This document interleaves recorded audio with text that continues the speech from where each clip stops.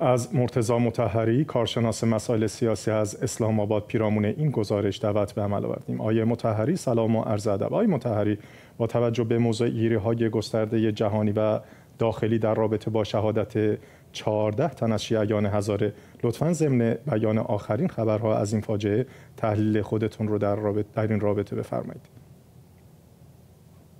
سلام و درود خدمت شما و سلام و درود خدمت کسایی که ما و شما را می‌بینم من سلام تقدیم بعد از این حمله تروریستی ما گزارش های را از تنگتخت و بندر دایکوبی داریم که متاسفانه خانواده معظم شهدا از یک سو داغدار و غمدیده عزیزانشان هستند که از دست داده و از طرف دیگر خانواده که عزیزانشان از دست داده کسایی بودن که اونا سرپرست خانواده بوده یا بچه جوان خانواده بوده که قبلا ناناور خانواده بوده.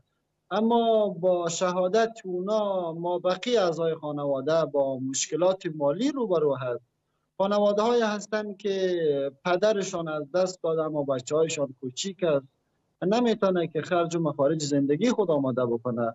و یا هم خانواده هستند که جوانشان از دست داده پدر و مادرشان پیر است نمی‌تونه خرج و مخارج زندگیشان آماده بکنه. یک موضوع و موضوع بعدی متاسفانه ما در طول سه سال گذشته همیشه در رسانه ها گفتیم که حکومت طالبا یک حکومتی است که همیشه ضد هزاره ها و شهاد در افغانستان بوده و است و بعضی ها ما را انتقاد می‌کردن.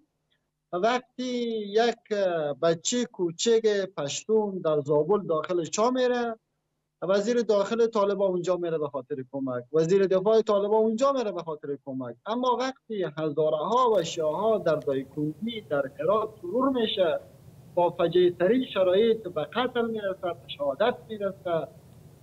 نه والی طالبان حضور پیدا می‌کنه نه رسوال طالبان حضور پیدا می‌کنه نه مقام بلندپایه طالبان حضور پیدا می‌کنه و نه حملات محکوم می‌کنه و نه عاملین حملات مجازات به دستگیر می‌کنه وضعیت خانواده منظم شهدا در دایکوندی مناسب نیست. از یک سو از عزیزانشان از دست داده و از طرف دیگر با مشکلات مالی روبرو است موضوع یک. بحث بعدی انتقاد ما طالبای است. طالبایی که روز بر رسانه ها میگه با کشورهای همسایه افغانستان میگه ما در افغانستان امنیت آوردیم از تمام شهروندان و اتباع افغانستان محافظت می‌کنیم. چرا در طول سه سال گذشته از هزاره ها محافظت نشده؟ وقتی حمله تروریستی در هرات صورت گرفت طالبا گفت ما عاملین حمله را مجازات می‌کنیم و دستگیر می‌کنیم. تا هنوز نه مجازات شده و نه دستگیر شده.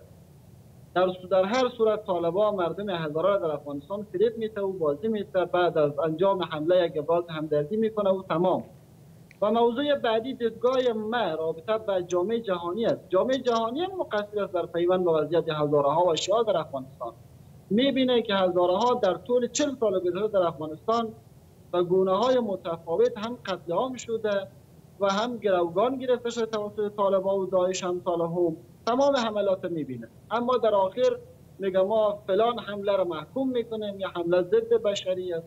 در صورتی که فعالین هزاره و شیعه در طول سه سال گذشته چندین کمپاین راه اندازی کردند که باید قتل عام و نسل کشی هزاره ها به رسمیت شناخته شود تا هنوز نه سازمان ملل متحد نه شورای امنیت نه دادگاه اداره هیچ اقدام را انجام نداده.